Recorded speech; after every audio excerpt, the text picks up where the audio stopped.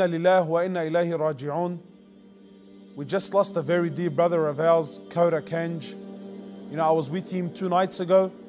We had performed Umrah in Mecca, and then he left for Medina, spent the day in Medina, prayed the Dhuhr prayer in the Rawdah, directly behind the Imam, spent two hours in the Rawdah in the worship of Allah subhanahu wa ta'ala, and then towards the end of the day, he was feeling some pain, some chest pains, and then when things got really bad, he laid down, surrounded by his family, just at the time of the Maghrib prayer, while the adhan was being called.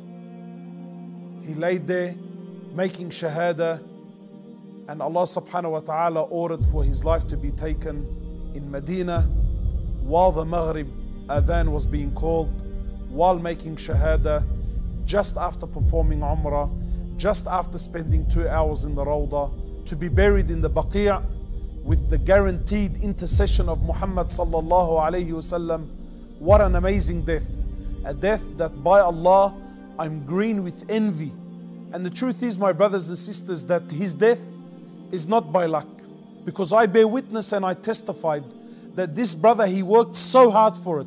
He worked so hard and that he was so sincere that Allah subhanahu wa ta'ala accepted him and gave him the honorable death that he has given him. For years, for years, he would pray Fajr in Jama'ah in the masjid and then he would sit in the same corner until 9 o'clock in the morning trying to memorize the Quran. And he was struggling.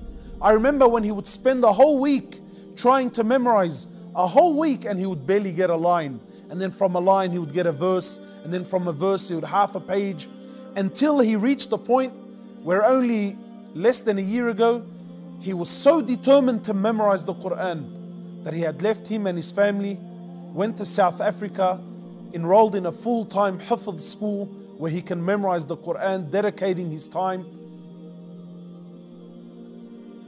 And Allah subhanahu wa ta'ala accepted him.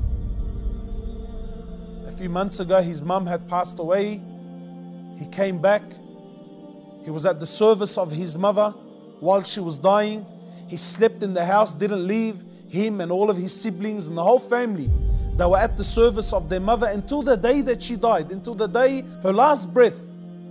They were there at the service of their mother. You know, my brothers and sisters, if you want a great death, these great deaths, they don't come by chance. No, you have to work for it. You have to work for it and you gotta want it. And you gotta be so sincere. And wallahi, if you're sincere and you're dedicated and you work, Allah subhanahu wa ta'ala will accept you and give to you like He gave this brother Khidr. Like He gave this brother. I ask you, my brothers and my sisters, how are we spending our days? How are we spending our nights? How will you die? You ask yourself, how will you die?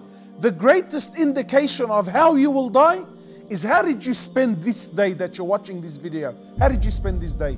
How did you spend last night? This is a very good indication of how you and I will die. Because the way you live, this is the way that you die.